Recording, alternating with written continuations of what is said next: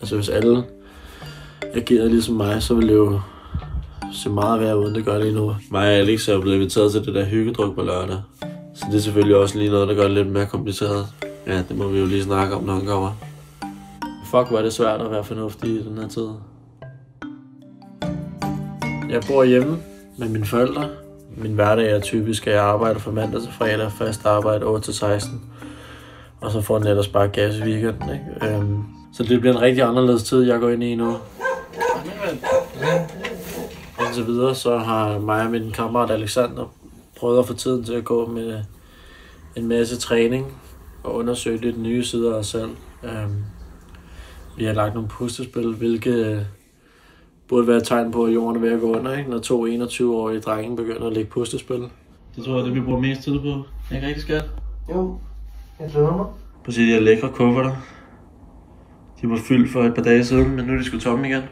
Mig og Alexander skulle rigtig have rejst til Mallorca og flyttet til Mallorca nu på en guideskole, og så flyve direkte videre ud at være guide. Dagen før vi skulle afsted, øh, kom der så det her udrejseforbud. Men vi var så opsat på, at nu skulle der bare ske noget, så vi valgte at tage i sommerhus med nogle af guiderne, vi skal afsted med. Der blev drukket af de samme kopper, der blev, øh, øh, der blev delt mundvand, der blev delt en masse ting. Det endte som med, at ja, vi lagde det ud på sociale medier, og vi så ikke rigtig det, det store problem i det. Så endte det bare med, at folk begyndte at svine os til, og min mor øh, skrev til mig, at hun var fandme ikke særlig stolt af det, jeg havde gjort. Og det var først der, det ligesom gik op for mig i hvert fald. Okay, det, det er fandme en seriøs situation, det her.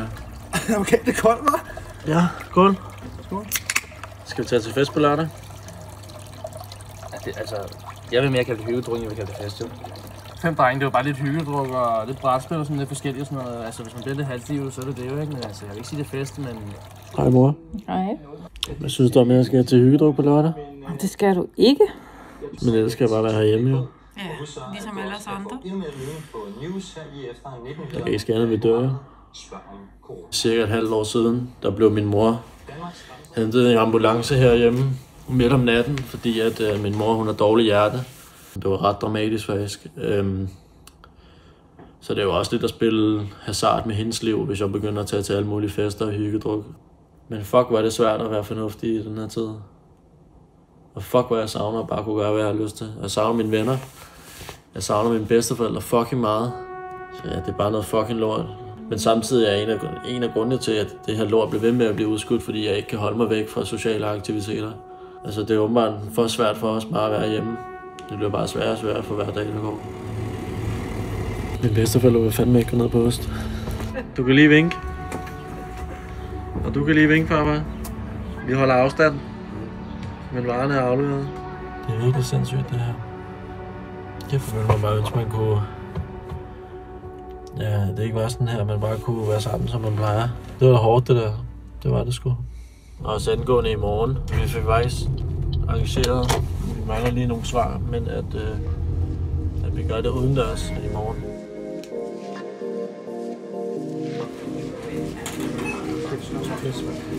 Skål. En to meter skål. Skytte af dig, skåler. 3, 2, 1.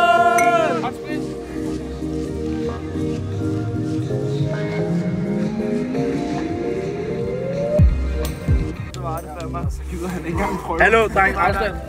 Så det gik godt på den måde, det gav mig noget socialt, og, men det gik dårligt på den måde, at vi måske ikke overholdt alle øh, restriktionerne. Det gav mig ligesom det boost, jeg havde brug for, og nu føler jeg i hvert fald godt, at jeg kan holde ud at være lidt, hjemme lidt længere. Øhm, og i aften, øh, så skal vi øh, FaceTime øh, sammen med nogle af dem, jeg skal være guide med. Jeg ved også, der er nogen, der har tænkt sig at, at drikke, altså lade som om, at vi er sammen. Øh, så har vi haft nogle bummer der. Men det er i hvert fald ikke noget, jeg er stolt af. Nu er jeg færdig med at, øh, Godnat, mor. at sætte min egen behov for os. Nu gælder det om at holde ved. Godnat, far. Godnat, søde dreng. Sov godt. Tak.